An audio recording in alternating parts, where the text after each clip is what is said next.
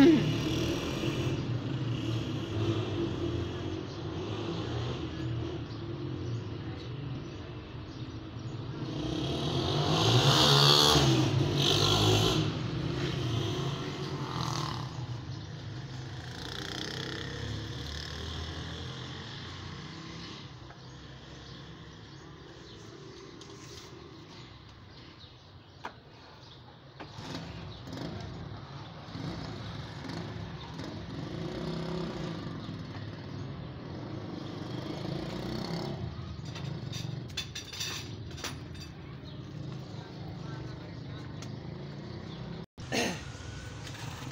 लगभग सौ हो गया त्रे परसेंट प्लान फ्री थी अब